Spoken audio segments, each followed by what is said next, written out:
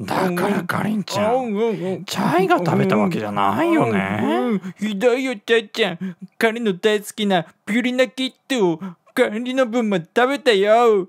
おうおうおうおうだからかりん。ちゃんそれ誤解だよね。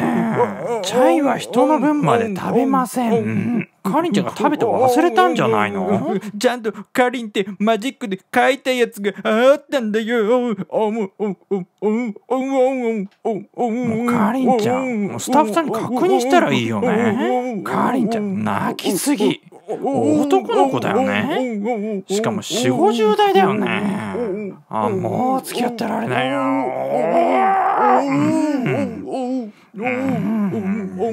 よしちょっとよしかかるのはやめてもらえますかごめんメロンメロンメロンメロン